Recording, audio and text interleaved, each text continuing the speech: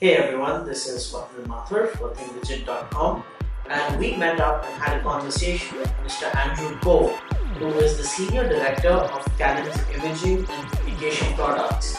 So essentially what he handles for Canon India is everything to do with cameras, lenses, right from the very basic point and shoot all the way up to the professional DSLRs. So we spoke to him about some of the concerns that we've had and the questions we had regarding Canon's operations in India.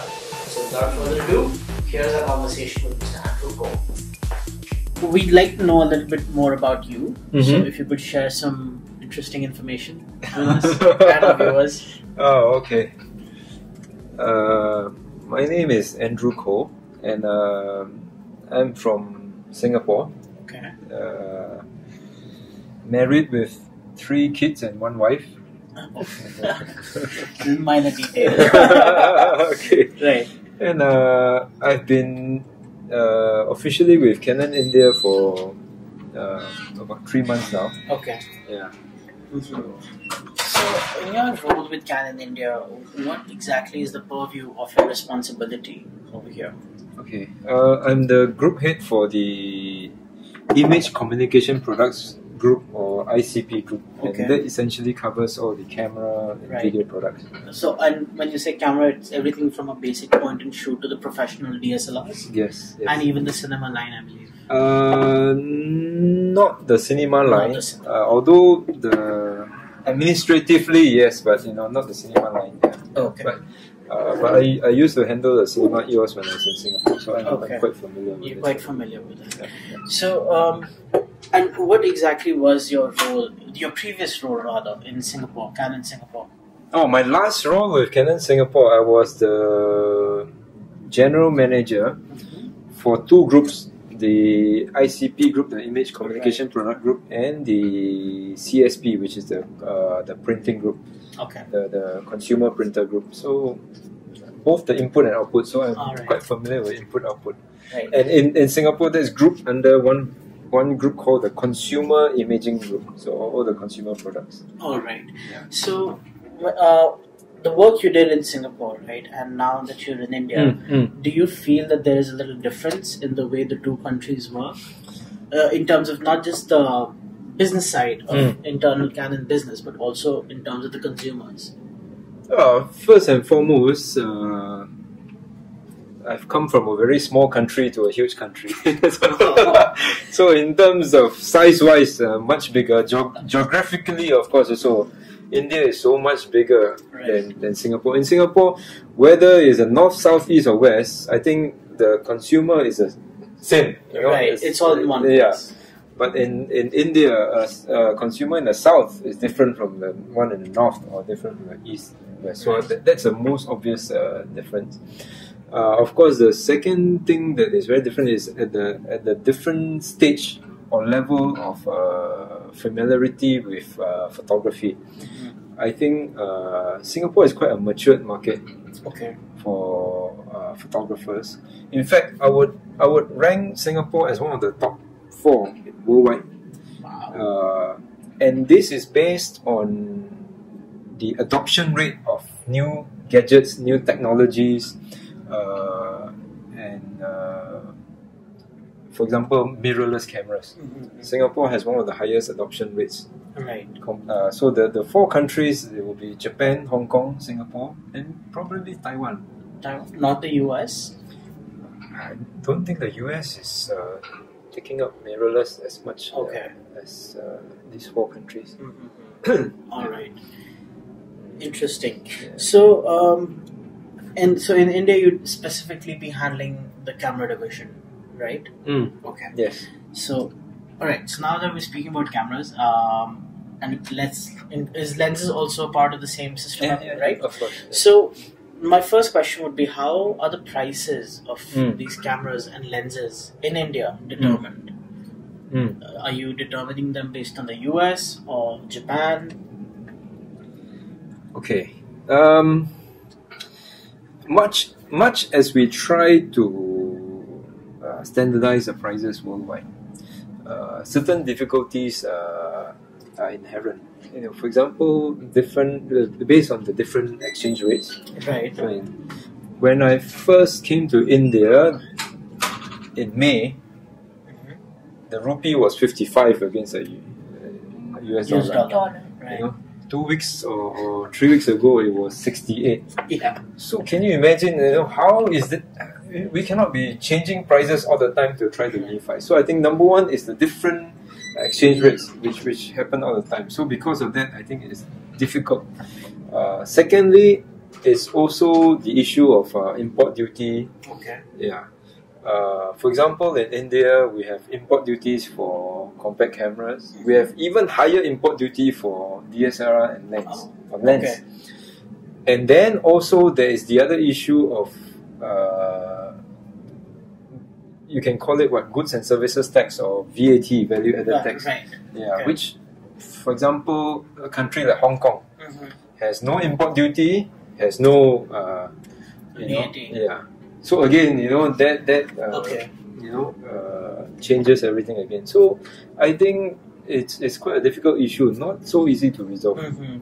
Yeah. So uh, I'm not sure if you're aware about this, but somewhere around eight months ago, Mm. the prices of lenses were hiked by almost thirty percent Mm. in India. Mm. And at that time, they, it wasn't so bad. The rupee was not fluctuating as much as it is right Mm, now. mm, mm, mm. So, a lot of people were asking us why this happened, especially seeing how Nikon and Sony, other competitors, were not raising the prices. So, would you like to shed some light on the matter? I cannot compare. I cannot uh, comment on what competitors are doing or not doing because they, they have their own strategy. You know, Right. maybe Sony or Nikon has different strategy, but I think for us, uh, we are here for the long run. We we want to provide a sustainable business. right. you know so it's a balance between uh, you know market share and also uh, sustain, sustainability you know we have to keep the, the organization running so i think it was a number of factors that came into play Right. and probably i don't know the the the exchange rate probably came into play too you know Okay. that yeah. But a 30% hike is quite significant because, I, in fact, personally, I was Mm. contemplating on buying the 85 1.8, uh, which was about uh, 23,000 at the time. uh-huh, uh-huh. And then I went to the store, it was 32. I'm like, wait, I can't get that. But anyway, um, so, you know, it, it's really um, because a lot of consumers want to know what signs they should look out for that, you know, a piece of equipment's going to go up in price Mm, so mm. that they can hasten their purchase. So, because a lot of people, like I held back from buying that lens Mm, initially. So, a lot of people did the same, you know, with a lot of other cameras and other lenses. So, if there's anything that you could recommend, like how can a buyer make that decision whether to buy it now or wait for some time?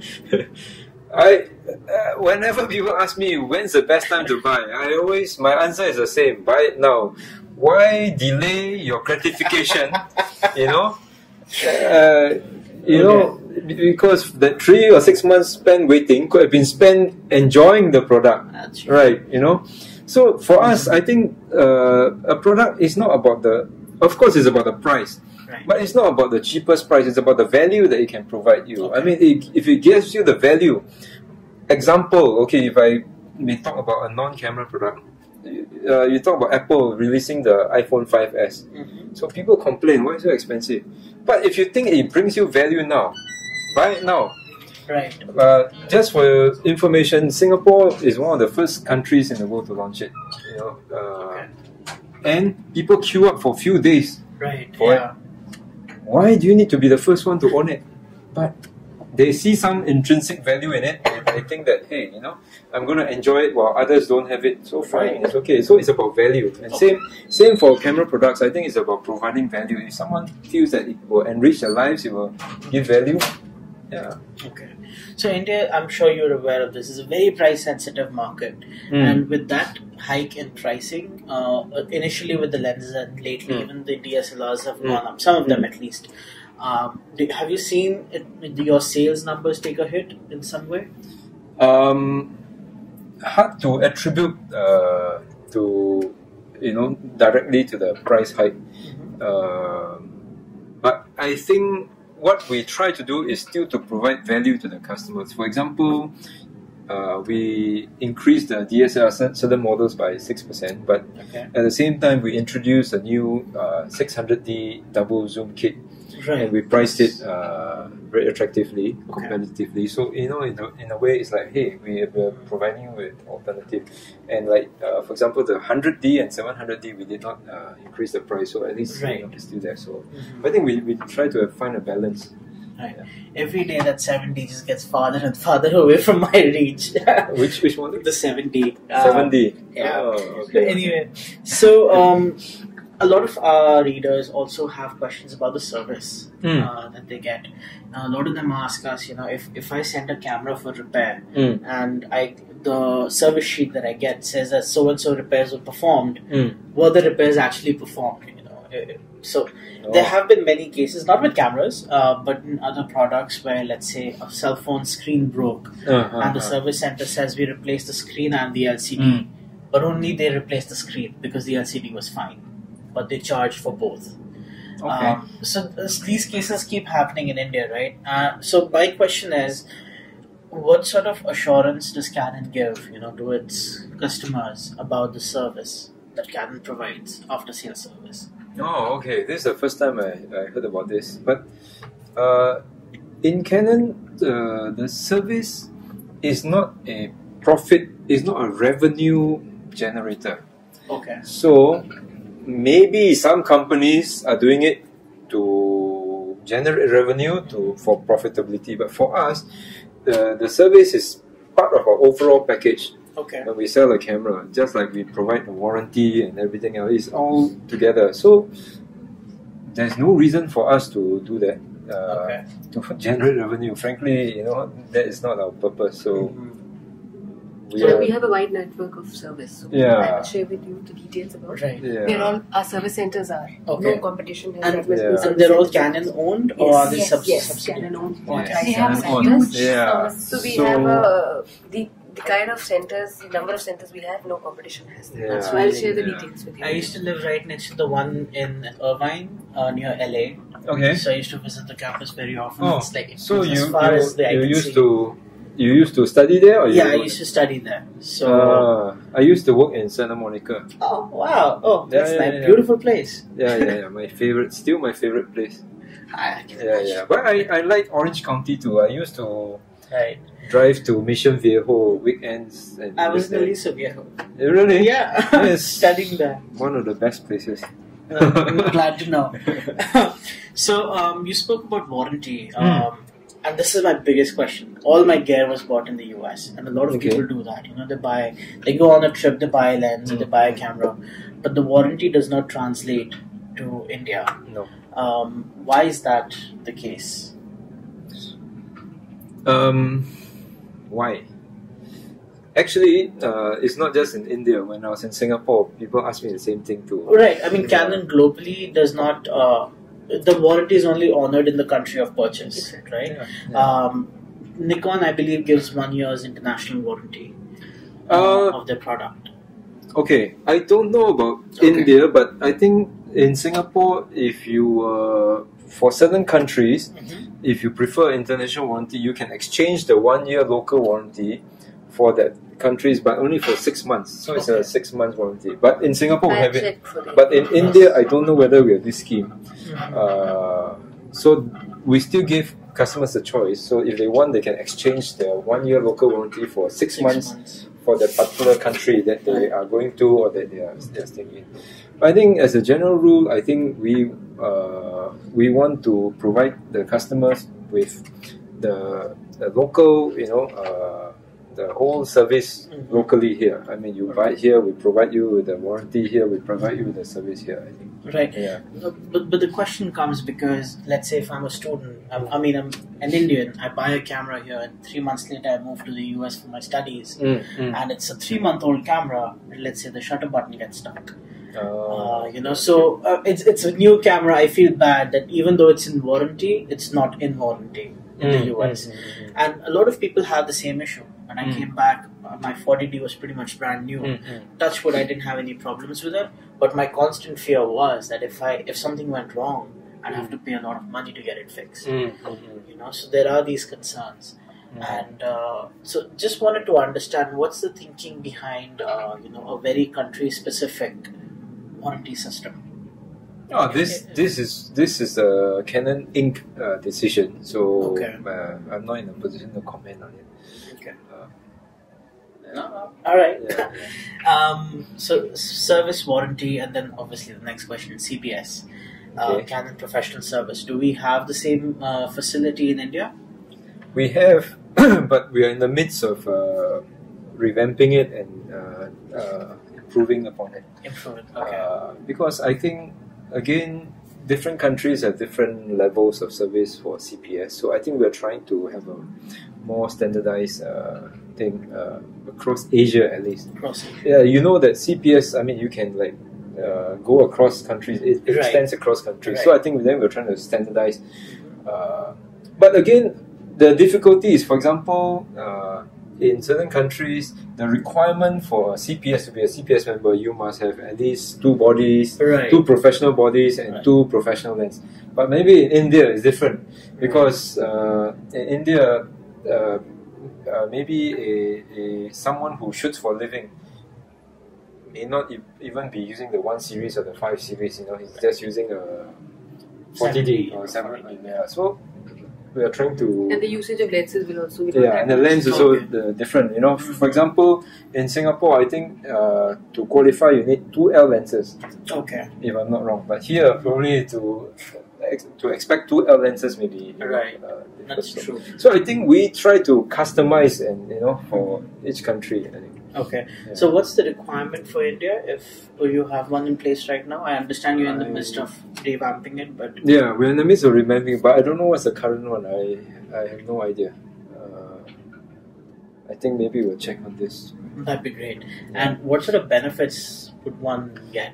Uh, universally, uh, uh, number one, you get backup, Mhm. uh, and then you get express service, if I'm not wrong, and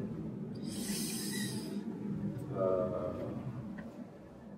loan. I think in loan, uh, the the uh, you you have availability to loan sets. Yeah, Free sensor cleaning. yeah. I think Alright. so. Let me I check. so. I need to check. I know that the, for example, again, I have to refer back to the Singapore example. Uh, the F1, uh, so during important events, major, especially like sporting events, Right. let's say F1 Olympics and things like this, then that's where we set up a service depot. And Right. that's where the CPS members, then you really need the backup, you need the cleaning, you need the things like this. So, for example, F1, and I use F1 because India also has F1. F1 Right. happens every year. We set up a depot there, and the CPS members come and you know get their the lens adjusted or calibrated, you know, and clean and, and you know and, and Okay. backup and things like this. Yeah. Mm, That's nice. Yeah. Interesting. Because uh, CPS has always been one of those very niche services that Mm. only very select people have known about. And um, in India, there's a lot of photographers who, sh- who shoot for a living and are always shooting. And some of them even have uh, 5 series or 1 series bodies, a lot of Yeah. lenses. Yeah. So this is something that could benefit them knowing this. Yeah, I, I think the challenge is to identify who does it for a living Mhm. and how professional is professional. no? Ca- Because it says Canon professional for service. Right. So how professional is professional? Again, to now we have a lot of advanced amateurs who who buy the 1DX or who buy the 5D Mark III, wow. but they're just shooting for fun. You know, they're not doing for Okay. a living. So again, Right. then you know, we have to be strict with certain uh, right. criteria too. Okay. So um, this is just sort of coming to a conclusion. Um, I'd like to know about the various. Uh, so you have the point and shoot segment, and you Yeah. have the DSLR segment. Mm. Let's just talk about these two in specific. And so, what sort of marketing strategy do you have? We have the festive season coming up, and uh, from what I understand, every business it's about market share, Mm. right? So, what is Canon sort of uh, planning for the upcoming months with regards to point and shoot cameras and uh, the DSLRs? Okay. um, I I must correct you on that. that Okay. While market share is important, uh, I think for us, like I mentioned earlier, it has to be a sustain, sustainable uh, and viable business too. Right. So we are not chasing uh, market share, you know, and forsaking all else. Mhm. So it's not an end in itself. Uh, but having said that, of course, the festive season is important. That's where you know the consumer spending goes up, and everyone's looking to buy. So in the DSLR segment, uh, we have uh, introduced a new uh, 600D double zoom kit. Good, And yes. so in fact, in fact, we are the only ones now offering this. Uh, the, the we have two models with double zoom kits: the 1100D and the 600D. Okay. So that is something that is uh, uh, unique uh, uh, uh, proposition that uh, none of competitors have. Uh, for compact cameras, we are putting a bit more focus on our SX series, which is the uh, The 170. yeah, which is Yeah. the long optical zoom. Mhm. And that is uh, because the demand for compact cameras, especially the entry level, Mhm. uh, has uh, declined Okay. uh, due to you know smartphones and stuff like this. But uh, in the SX category, where we have long optical zoom, I there is no comparison with uh, smartphones. It's something that you know it, it's still uh, is able to hold its ground. So Right. that's where we are, we are putting our focus on.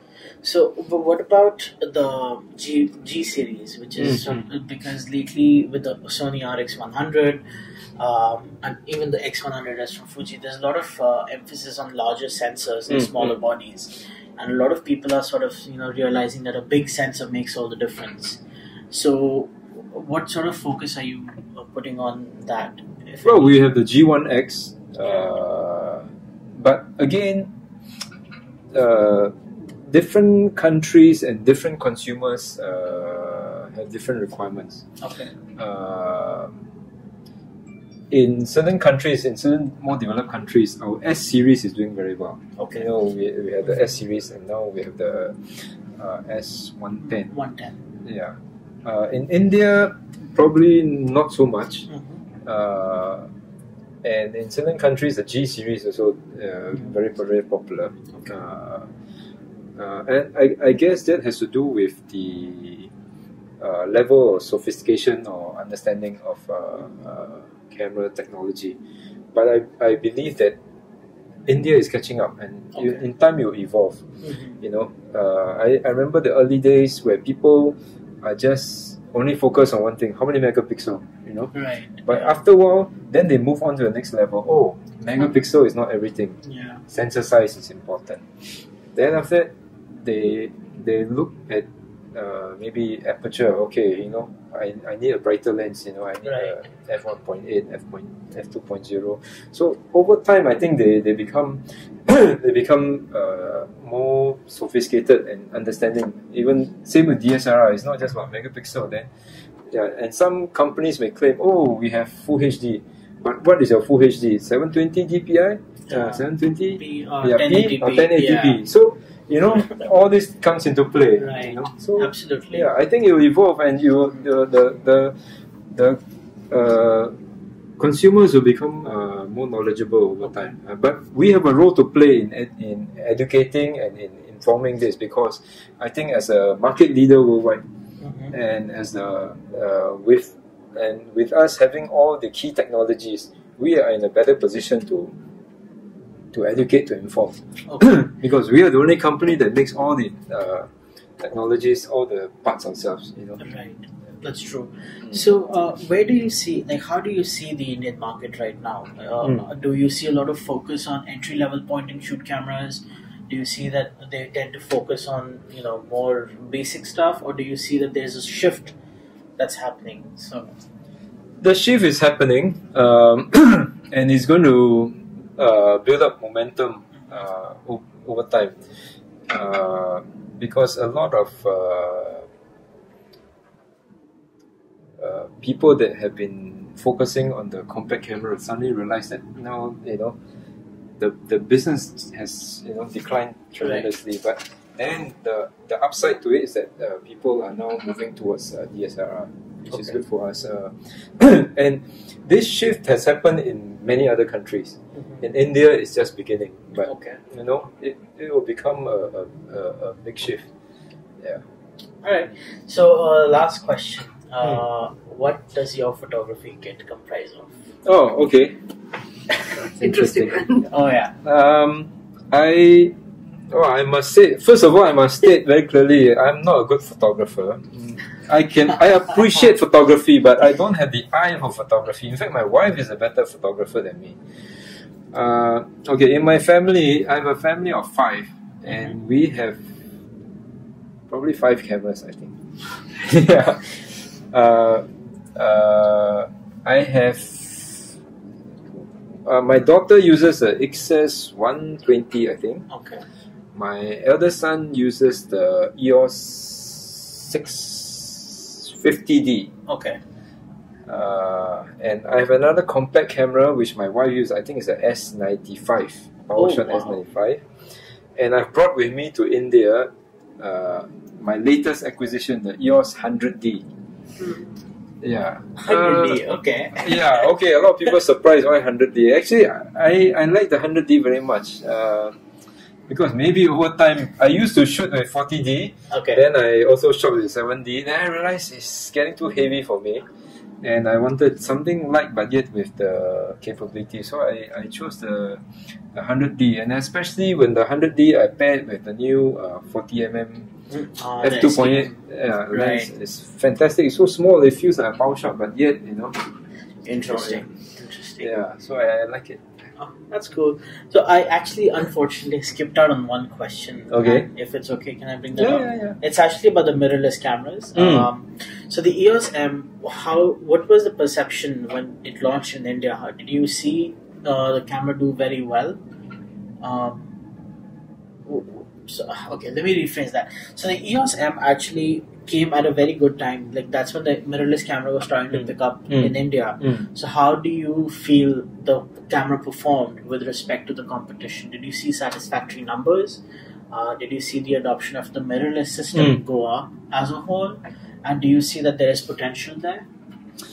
Actually, uh, on the whole, the industry in India, I don't think is uh, adopting or, or embracing the mirrorless uh, camera. In fact, worldwide, the mirrorless has not really picked up that well. Oh, okay. Yeah. Uh, and that was one of the reasons why Canon was, in fact, Canon was the last Last. uh, major uh, manufacturer to introduce a mirrorless uh, camera because I think we wanted to to wait and see to see how the take up rate, the adoption rate. Uh, if you look at the whole world now, uh, most of the world the adoption rate is still pretty low, not substantial enough. Even in the big market like China, it's still not substantial. And uh, I mentioned earlier about the four countries. The four countries with the highest adoption rates now is uh, Japan, Hong Kong, Singapore, Taiwan. Uh, and that's because these countries are, you know, very early adopters. They, they, they, they embrace it. But, and even in India, we see the mirrorless hardly making a dent in the in the bigger scheme of things. Uh, so the EOS M, I think, appeals to a very niche market, only to those who can appreciate it and and, and, and they want it. Uh, I don't know. I was told unofficially by by the by our dealers that oh, people who buy a DSLR feel that you know, DSLR should be big. You know, they want to feel you know they're carrying a professional. So the the EOS M is seen as too small. Okay, Yeah. it's, it's almost like a compact camera. I, I don't know. So Interesting. yeah. I actually shot. Uh, there's this really big band called Infected Mushroom. Uh, Mhm. I used to shoot for them in LA for four years, and when they came to India, I had the EOS M with me. I was testing it at the time. I shot their entire concert with that, and beautiful images. So I mean, I, I it it feels bad because there's a lot of uh, Yeah. unawareness. Yeah, actually, the camera EOS system. M is a fantastic camera because it it has an APS-C sensor. So again, market education is very important. For example, when I ask people, "Oh, how is the mirrorless market?" They say, "Oh, your EOS M is so expensive." I say, "Against which model?" Oh, against a Nikon J1. I said, do you know a Nikon J1? Uh, The sensor size is so small. one inch. Yeah, versus a, a EOS M, it's different. So there's mirrorless and there's mirrorless. You know, there are Yeah. different kinds of mirrors. So again, Then there's You know? the yeah, and the understanding and the, the, the, the knowledge, I think, is still not as advanced yet. You know, Okay. to know what's the difference. You know, for example, if you use an are you going to quote me on this? eh? You use a Nikon, you got a problem because when you use the Nikon lens, Mhm. you will have to calculate differently. You know, Mm. uh, it's not a 1.6. It's Maybe you have to multiply 2.5 or, 2.7. or, or 2.7. Then, you know, it's all messed up. Mhm. Whereas uh, EOS M is identical to a DSLR. You know, if you have been using a, uh, let's say, a 1635, use it, you still get the same same field of view, right? Yeah, yeah, right. Interesting. So, is are you at Canon uh, working on and maybe educating the masses to this new technology? It is a new technology, and it is actually pretty amazing. It would be really sad if uh, you know it sort of dies out without mark making its mark. Um, I think at Canon we believe in offering uh, choices Mhm. to uh, our consumers. So whether you are looking for a compact camera that serves your need, or a compact camera with a long zoom, or DSLR or mirrors, I think we, we offer that kind of choice, and we have the technology in all these uh, different areas. Uh, so uh, it is still there. So it's uh, of course we will try in uh, our own ways to educate, but I think India is a huge market too. So that that is a challenge for us. But uh, we're, we're taking it one step at a time. Okay. So, uh, can we expect any more competitions this year? I believe there was the Canon Photo Marathon that happened earlier this year. Is there anything similar you guys are planning? Uh, we have not made any plans as of now, so yeah, nothing concrete yet. So nothing concrete to, to share with you Okay. yet. I need to start preparing to win. Yeah. So, no, this has been really enlightening. Thank you so much, Andrew, Thank for you. taking out the time Thank you, my being pleasure. so candid. Now, I'm really Yeah, happy you didn't say I can't answer that.